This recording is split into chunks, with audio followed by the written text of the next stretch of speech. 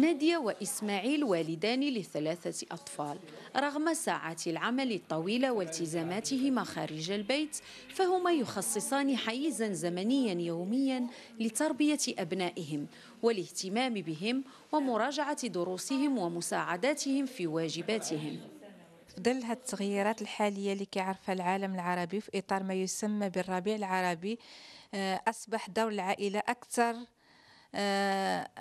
كيطالب واحد المشقة كبيرة باش نخلقوا واحد التوازن نفسي عند الدراري. خص مراقبة مستمرة خوفا من الانحراف على على هاد الوليدات لأن إلى جانب الاهتمام الذي يعيره معظم الأولياء لتربية أبنائهم وصقل شخصياتهم في إطار الأسرة يعول هؤلاء على دور المؤسسات التعليمية في إتمام تربية الناشئة التي ينتظرها مستقبل غير متضح المعالم الدور الأساسي لمؤسسات التعليم سواء كان تعليم خصوصي أو عمومي هو تربية الناشئه إن صح التعبير.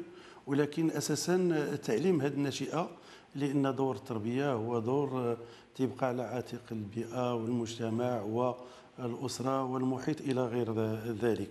اليوم مؤسسات التعليم الخصوصي في المغرب تعنى بالناشئه سواء على المستوى الثقافي العام أو التربوي والتعليمي كذلك. Institute for Leadership and Communication Studies كيف تخدم في ميدان التربية لاستعداد الشباب لسوق الشغل وللمجتمع؟ فلسفتنا. نكونوا شباب اللي هو عنده كفاءات باش يستجب لسوق الشغل. تنكونوا ناس صالحين للمجتمع.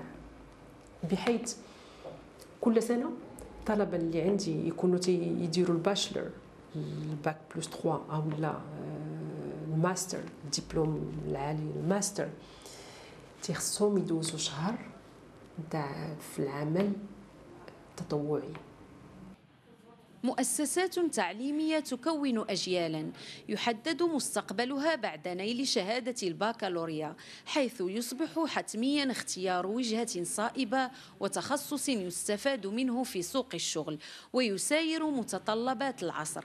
لكن المختصين يؤكدون أن هذا التكوين الذي توفره المؤسسات التربوية لن يكون ناجعا إلا بالتوازي مع تكوين أساسي في المؤسسة التربوية الأهم وهي الأسرة.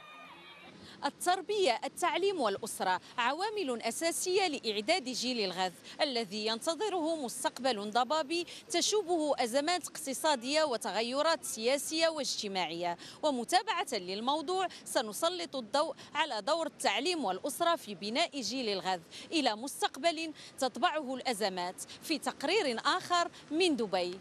فاطمة البكاري لبرنامج اليوم على الحرة الرباط.